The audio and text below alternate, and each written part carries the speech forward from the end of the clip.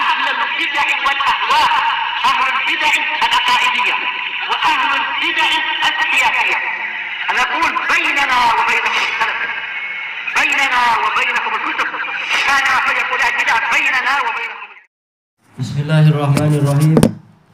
Qala al-Imam Ibnu Utsaimin rahimahullah. Oh, salah ambil ya. Ayat ini.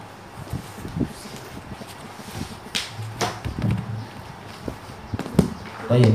Qala Syekh Abdul Aziz Al-Rasyid rahimahullah qauluhu innama akhbarallahu fi kitabihi eh, bima akhbarallahu fi kitabihi wa tawatara an rasulih Termasuk keimanan kepada Allah adalah beriman kepada apa saja yang Allah kabarkan di dalam kitabnya dan telah mutawatir dari Rasulnya.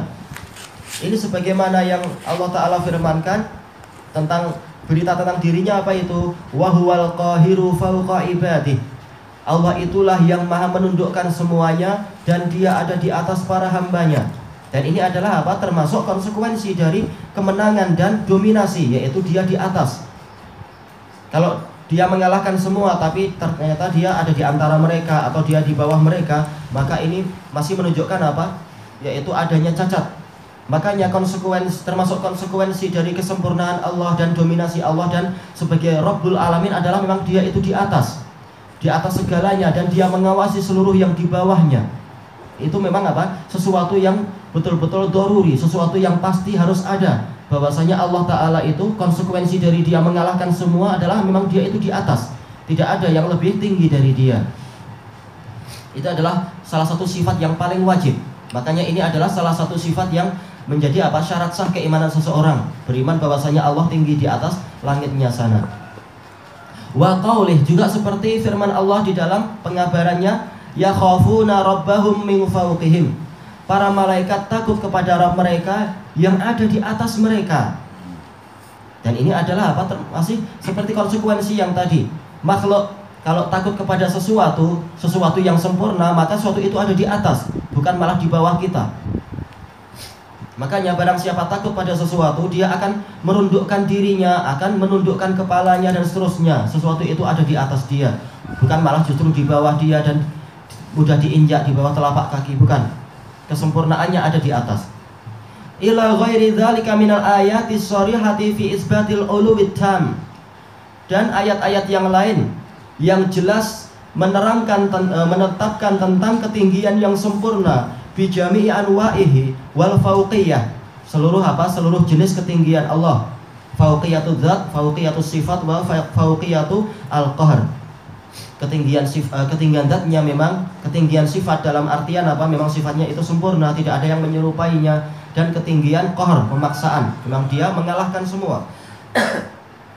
Wa qad taqaddama dzikru anwa'il ulu wal fawqiyah dan telah terdahulu penyebutan jenis-jenis ketinggian wa taqaddama hadisul awal dan telah terdahulu hadis awal tentang kambing jantan e, kambing gunung itu dan telah kita lewati hadisnya dhaif dalam rawinya siapa ya e, Waqi' bin Hudas atau Waqi' bin Udas dia adalah apa dhaif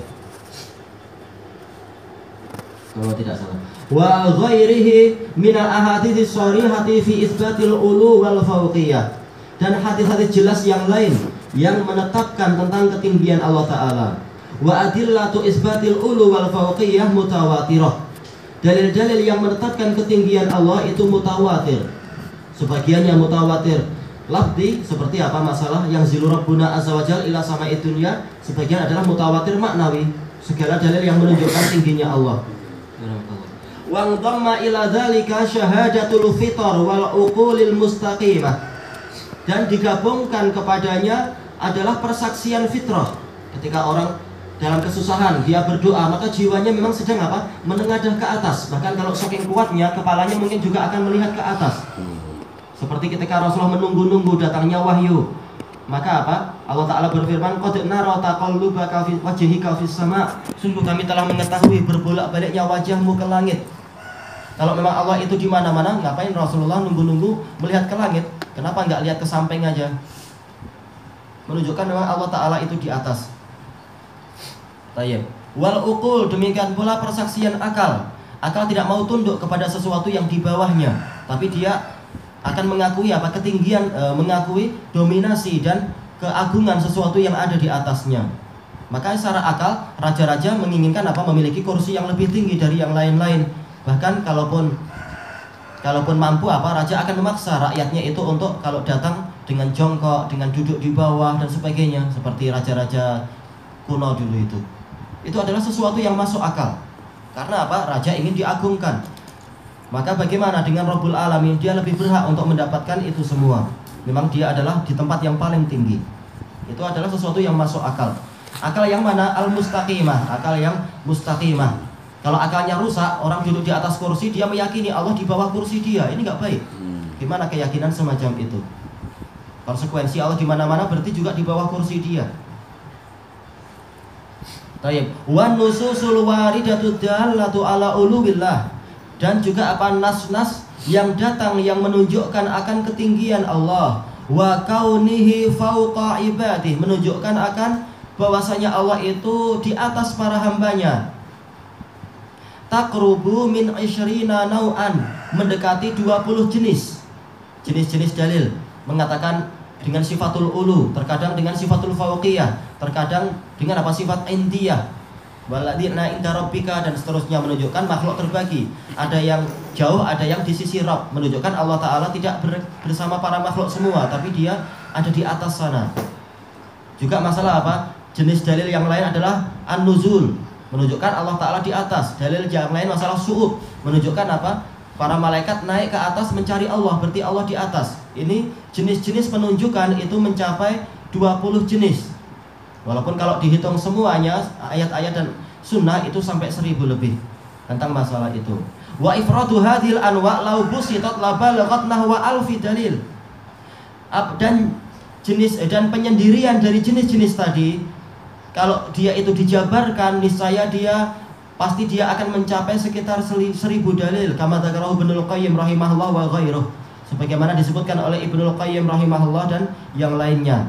Ibnu Qayyim dalam As-Sawa'iqul Mursalah yang pertama muka surat 66 Qauluhu wa ajma alaihi salaful ummah dan telah disepakati oleh pendahulu umat ini. Qala Abu Umar At-Talamangki rahimahullah. Beliau adalah syekh dari Imam Ibnu Abdul Bar. Beliau juga mengalami ujian yang banyak, tapi beliau ditolong oleh Allah melalui pemerintah yang eh, melalui hakim yang baik. Ini dinukilkan dari kitab Al-Ulu li Aliyil Ghaffar punya Al Imam Az-Zahabi nomor yang ke 566. Salam salam. Tayyib. Kata Imam Abu Amr sebagian membaca Abu Umar tapi apa yang betul adalah Abu Amr. Abu Amr At-Talamangki rahimahullah ajma ahlu sunnah ala anna Allah ala arshihi alal haqiqah la alal majaz ulama ahlu sunnah eh, ahlu sunnah telah bersepakat bahwasanya Allah Taala itu di atas arsnya secara hakiki bukan hanya majaz bukan hanya gaya bahasa Allah menguasai ars Baik. Summa saqa natihi an Malik. Kemudian beliau mendatangkan uh, beliau menyebutkan sanad beliau sampai ke Imam Malik Qauluh Imam eh, qaulah Imam Malik berkata, Allahu fis sama wa ilmuhu fi kulli makan. Allah itu di langit sementara ilmunya di seluruh tempat. Yaitu apa? Dia mengetahui segalanya.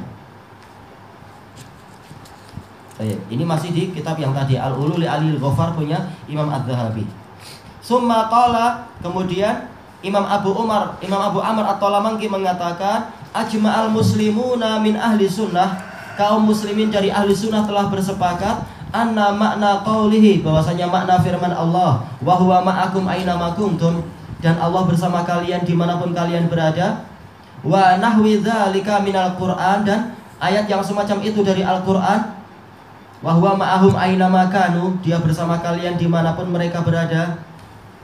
Anna dzalika ilmu bahwasanya yang dimaksudkan adalah ilmunya. Juga dalam firman Allah Ta'ala yang lain Wahwa ma'hum it yubayitu nama la yarda minal qaul. Allah bersama mereka manakala mereka itu membuat ucapan e, merancang ucapan-ucapan yang tidak diridhoi di malam hari itu. Apakah Allah zatnya bersama mereka? Bukan, tapi adalah apa? Ilmunya. Dia mengawasi mereka semua. Wa anna Allah fawqa samawati bi mustawin ala arsyih dan bahwasanya Allah dengan datnya dia ada di atas langitnya istiwa di atas arusnya datnya di sana tapi dia mengetahui semua Wa hadza katsirun fi kalami sahabati wat tabi'in wal a'immah. Dan ini banyak disebutkan dari ucapan para sahabat dan tabi'in dan para imam. Bahwasanya apa makna tiga ayat tadi itu adalah bahwasanya yaitu Allah tinggi di atas arasnya sementara ilmunya di mana-mana, mengetahui semuanya, meliputi segalanya. Fa asbatu ma asbatahullah. Mereka menetapkan apa yang Allah tetapkan fi kitabih di dalam kitabnya wa ala lisani rasulih dan berdasarkan lisan rasulnya sallallahu alaihi wasallam alal haqiqah sesuai dengan hakikatnya karena Allah telah menyebutkan itu. Maka kita ikuti. Ala ma yaliqu bi jalalillahi wa azamatih sesuai dengan uh, berdasarkan sesuatu yang sesuai dengan keagungan Allah dan kemuliaannya. Tidak seperti yang dibayangkan makhluk tapi lebih agung dari itu. Baik, kita baca di yang atas dulu. Qala Syekhul Islam rahimahullah apa itu termasuk perkara yang ada dalam Al-Quran dan mutawatir di, di dalam sabda Rasulullah? Min annahu subhanahu fauqa samawatihi ala arsyih bahwasanya Allah subhanahu dia tinggi di atas langitnya semua. Di atas arsnya Aliyun ala khalqih Dia tinggi di atas para makhluknya Wa huwa subhanahu ma'ahum aina makanu Dan Allah bersama mereka di mana pun mereka berada. Maksudnya apa itu? Ya'lamu mahum amilun. Dia tahu apa pun yang mereka amalkan. Jadi pengetahuannya yang bersama mereka. Zatnya di atas arsnya. Kama jama'a baina dzalika fi Sebagaimana Allah telah mengumpulkan dua perkara tadi di dalam firman-Nya Perkara apa? Bahwasanya zatnya di atas arus sementara ilmunya meliputi semua. Khalaqas samawati wal arda fi sittati 'alal arsy. Dialah yang menciptakan langit dan bumi di dalam enam hari. Selama enam hari, kemudian dia istiwa di atas arsh. Kalau istiwa artinya istaula, menguasai. Lalu setelah lalu berarti berapa lama arsh itu tidak dikuasai oleh Allah? Siapa yang menguasainya berarti? Sementara istaula ini lebih lebih kuat penggambarannya daripada walia. Kalau walia menguasai, istaula adalah merebut kekuasaan. Sebagaimana kata para ahli lughah, istaula artinya mughalabah, yaitu berebut kekuasaan dengan yang lain. Berarti selama penciptaan langit dan bumi dan bahkan sebelum itu ketika Allah belum menguasai arsh, arsh dikuasai oleh siapa? Sehingga Allah Ta'ala perlu berebut dengan orang tadi atau dengan makhluk tadi. Ini adalah penghinaan bahwasanya ada makhluk Allah yang tidak dikuasai oleh Allah. Dan penghinaannya lebih besar kalau orang sedar bahwasanya arus itu jauh lebih besar dari langit dan bumi. Berarti selama entah berapa ribu tahun, yaitu apa? Kekuasaan Allah itu ternyata lebih kecil daripada kekuasaan makhluk yang lain itu yang menguasai arus. Memang nggak ada apa-apanya langit dan bumi dibanding dengan arus. Bagaimana justru Allah hanya menguasai langit dan bumi, sementara arus yang paling besar justru apa? Dikuasai oleh yang lain. Ini adalah penghinaan kalau orang-orang Mu'tazilah itu paham. Baik, berapa ribu tahun Allah Ta'ala tidak menguasai arasnya? Karena apa? Allah Ta'ala menciptakan e, Menulis takdir itu 50 ribu tahun sebelum menciptakan langit dan bumi. Berarti selama 50 ribu tahun Aras itu belum dikuasai oleh Allah ada yang lain yang berkuasa di situ. Lalu baru menciptakan langit dan bumi dalam enam hari. Baru kemudian apa? Allah merebut kekuasaan di arus. Ini adalah penghinaan kalau mereka sedar. Penghinaan kepada Allah. Maka yang betul istawa adalah istawa seperti penjelasan para ahlu lughah dan ahlu sunnah wa jamaah yaitu apa tinggi di atas. Sebelumnya terserah Allah, Allah mau istiwa di mana atau bagaimana, tetapi untuk bertahta atau istilahnya untuk menetap, maka dia memilih menetapnya nanti setelah diciptakannya langit dan bumi, menetap di atas aras. Dalam keadaan aras tetap menjadi milik dia. Tayyib. Kemudian Allah berfirman, eh, "Ya'lamu ma yaliju fil ardi wa ma yakhruju minha." Allah tahu apa saja yang masuk ke dalam bumi dan apa saja yang keluar dari bumi. Wa ma yanzilu minas sama'i wa ma ya'ruju fiha. Dan Allah tahu apa saja yang turun dari langit dan apa saja yang keluar menuju eh, yang naik menuju ke langit. Ini disimpulkan dengan apa pengetahuan yang sempurna ini? Wa huwa ma'akum aina ma kuntum. Allah bersama kalian di mana pun kalian berada. Maksudnya apa? Bukan datnya, karena datnya sudah jelaskan dia tadi di atas arsh. Tapi yang bersama kita adalah pengetahuannya tadi yang sempurna itu yang meliputi segalanya wallahu bima ta'maluna basir dan Allah itu maha melihat terhadap apa pun yang kalian lakukan kita lihat di sini masalah ma'iyah masalah kebersamaan diawali dengan apa pengetahuan yang sempurna dan diakhiri dengan penglihatan yang sempurna tahulah kita bahwasanya yang dimaksudkan Ma'iyah di sini kebersamaan bukan datnya, tapi pengetahuannya, pengawasannya, pendengarannya, penglihatannya dan seterusnya. Sebagaimana dijelaskan oleh Imam Ibnu Katsir dalam tafsir surat Al-A'raf. Baik, kelanjutannya pada masa yang akan datang insya Allah wallahu a'lam.